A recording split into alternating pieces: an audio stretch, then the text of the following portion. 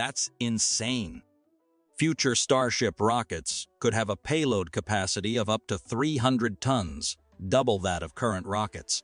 Yeah, Elon Musk just revealed that his aerospace company, SpaceX, has been planning to develop another Starship variant, namely the expendable Starship. So what makes it different from the regular reusable one? Why did Elon Musk develop this type of rocket? Discuss everything about this in today's episode of TechMap. But before we begin, our team extends a warm welcome. Don't forget to subscribe to the channel and enable notifications to stay up to date with the latest news from SpaceX and the world of space. With that in mind, let's jump straight into today's episode. SpaceX's Starship is famous not only for its super powerful thrust, but also for being a versatile system. In its first public appearance, Elon Musk introduced its original three variants crew cargo, uncrewed cargo, and tanker. All of them were used to serve Mars's colonization. Over time, as the company grew, more and more functions of Starship were discovered in addition to initial interplanetary spaceflight, including suborbital spaceflight and orbital spaceflight. Orbital spaceflight was recently developed, but quickly caught the public's eye. It started with the presence of Ship 20 was rolled out to the launch mount on August 5, 2021, and was the first to be stacked on a booster called Booster 4. Then there were ships 21, 22, and 23, but it was not until Ship 24 that SpaceX decided to lift it above Booster 7 to perform the first integrated test flight. The couple's debut on April 20 ended with a bang, helping SpaceX learn many lessons to upgrade Ship 25 ahead of the upcoming test. While the preparation was occurring in early September, we witnessed the movement of Ship 26 equipped with six engines from the rocket garden to the launch site. This version stands out because it looks naked, meaning there are no flaps, no cargo doors, or heat tiles. As you know, a reusable Starship normally owns a heat shield layer, fins, or some other items serving re-entry. The lack of those on Ship 26 signals that it will likely not return to Earth after launching. I mean, it could be an expendable version, very different from the popular reusable version of Starship. To be honest, that speculation of mine makes sense since it's confirmed by Elon Musk's tweets on X. Indeed, on 1 February 2023, Elon Musk said that this version may never be available but could be an option.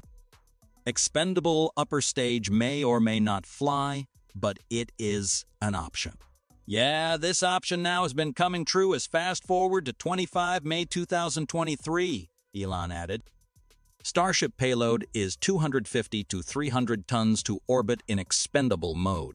Improved thrust and specific impulse from Raptor will enable approximately 6,000-ton liftoff mass. Wow, it's so crazy, isn't it? As usual, a Starship with a 150-ton payload to orbit and 5,000-tonal liftoff mass is comparable to the Soviet Union's N-1 rocket with a 95-ton payload to orbit and 2,735 tons liftoff mass. But once in expendable mode, according to Elon, its payload could be up to 300 tons, helping Starship to carry double the previous mass. In comparison, it is three fully loaded shuttles and about 12 shuttle payloads. As of January 2023, SpaceX has launched a mass of 1,272 tons into orbit, or roughly five Starships launch time. In September, Elon announced SpaceX had delivered approximately 80% of all Earth payload mass to orbit. That record was set by Falcon 9 with its payload capacity equivalent to 1 out of 17 of Starship's 300 tons. So what if Starship does that? With the support of the expendable version, Elon calculates that Starship will be able to put more than 99% of Earth's total payload into orbit in the coming years. There are two main reasons why the expendable Starship can reach capacity so much.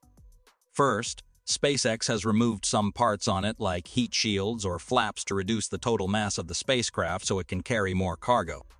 Second, with a future height of 144 meters, 1.5 times the height of the Statue of Liberty, the cargo area will be 1,400 cubic meters, higher than the current Starship's 1,100. Following this, future spacecraft thrust will then be increased by 50% with three additional Raptor vacuums bringing the total number of engines from six to nine. That's not enough. The company just tested the third generation of Raptor in May, reaching 269 tons, 18% more thrust than Raptor 2 in the hope of increasing Starship's total thrust to the maximum. With those upgrades related to payload and propulsion capabilities, Starship is expected to meet SpaceX's goal of bringing 99% of Earth's cargo to orbit in the future. On the other hand, some people question whether this expendable Starship version is more expensive than its reusable version. As you know, one of the biggest advantages of Starship is its low cost, partly due to its reusable function. While there aren't many details about its price, I'd say the difference is negligible. Because you should notice that the expendable spacecraft is simpler since it does not need parts such as thermal protection or flaps. In addition, its ground cost is also lower than that of reusable vehicles because of no demand for extra testing and post-flight processing. You just need to throw them away without being concerned about the cost involved in post-flight inspection, retesting, recertification if necessary, and no refurbishment costs. Realizing its remarkable advantages, SpaceX aims to use this type of Starship for several missions. Using it as a Starship depot, for example, acts as an in-space refueling station, allowing multiple spacecraft to dock, refuel, and continue with their respective missions. This Starship depot would be replenished by Starship tankers. The depot is not intended to return to Earth. Besides, SpaceX can propose the expendable version for some specialized missions, for example, NASA's Artemis 3. The project is planned to use the Starship HLS lander, the tanker, and the depot variants. Among them, both HLS and the depot will not be required to return to Earth. Under Artemis 3, the depot will launch to LEO first, followed by four launches of the tanker variant to fill the depot.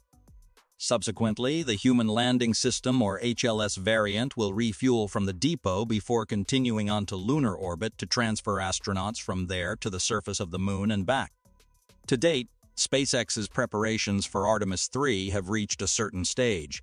Ship 26 appears to be a futuristic depot that just passed a key cryo-proof test on October 10. Last month, SpaceX tested one of its lunar lander engines in simulated conditions in the cold temperatures of space, while a nose cone similar to that of HLS appeared in early August. Anyway, while Starship's expendable rockets offer such benefits, why do reusable rockets remain core to SpaceX? Well, the point is Starship's high cadence.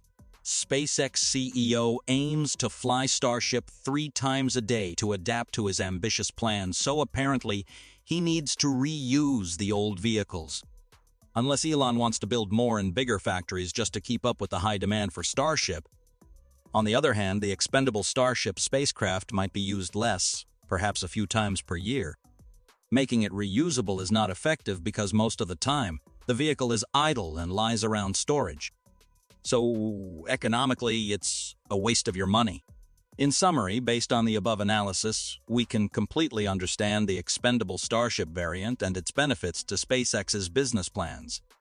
In the future, when the Starship rocket becomes fully operational, I predict that there will be many more variants that will surprise you, helping to commercialize the aerospace industry, thereby bringing it closer to real life. And that just about wraps it up for today's episode. Make sure you subscribe to the channel and turn on the notification feature so you don't miss any space-important updates. Your support is our driving force to continue delivering high-quality content. Thank you, and we look forward to seeing you next time